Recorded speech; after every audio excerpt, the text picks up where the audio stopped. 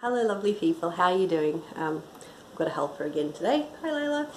Um, yeah, so today I thought I'd talk a little bit about some science books. Um, now I wasn't very good at science at school. Uh, biology I was pretty good at. I was always really interested in archaeology, anthropology, things like that.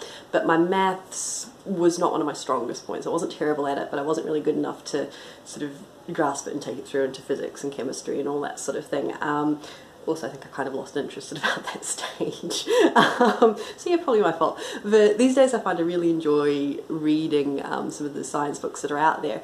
Uh, obviously helped a lot by, there are great explanations online now, there is wonderful documentaries, you can pull them up on YouTube half the time. Um, there's some of those great little tutorials on YouTube which tell you, um, they explain some of the basics, they do it really, really well and I nicely. Hello, do you like science as well?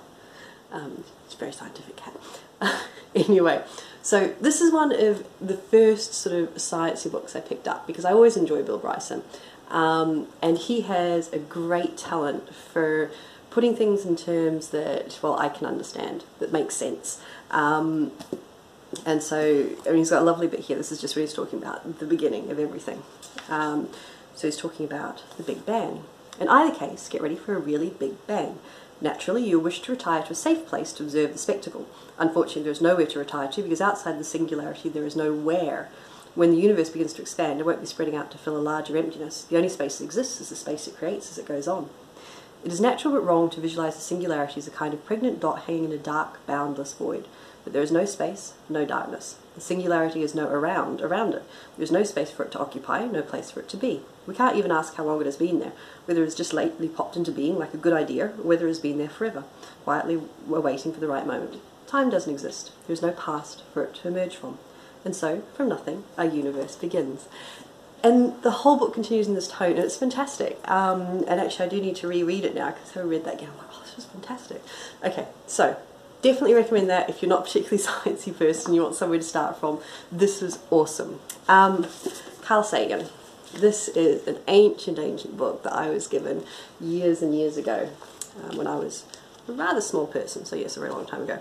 And it's from the original TV series and it's beautifully done. Um, it's, it's such a gorgeous old book, I absolutely love it. Um, embarrassed to I don't think I've actually read it properly. I do have another edition, I haven't read that either. But I have read a couple of Carl Sagan's other books, including The Demon Haunted World, which is fantastic. Um, he writes incredibly well. It's very engaging.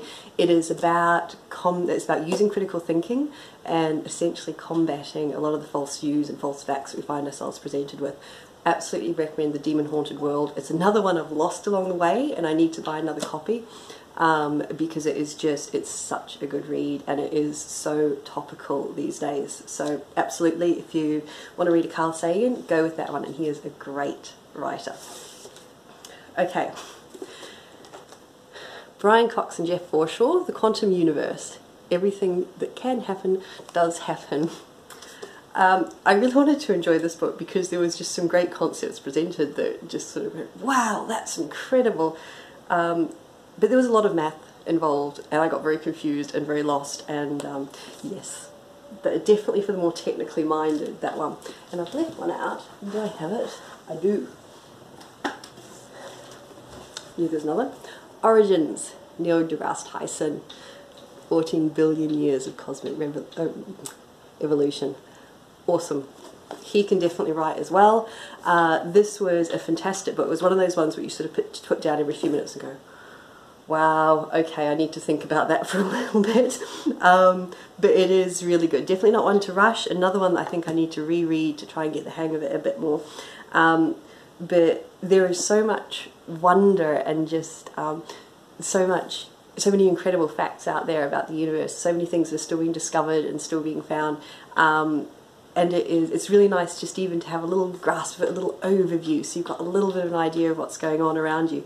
And it's amazing. Um, so I thoroughly recommend particularly Bill Bryson Carl Sagan so far everything I've read of his I've loved. Um, Neil deGrasse Tyson only one I've read of his thoroughly enjoyed it Brian Cox, much more technical, you need a better brain than mine to, to get the hang of that one really. Um, but I have got another one of his that I'll try because I do keep trying these books because yeah, the world's pretty awesome, the universe is pretty awesome and it's nice learning a little bit about it. Um, so tell me, are you into science books? Do you enjoy reading these sort of things? Do you have any recommendations for my sort of very basic level of understanding? Because if so, let me know in the comments. I'd love to hear from you. And thanks very much. Bye.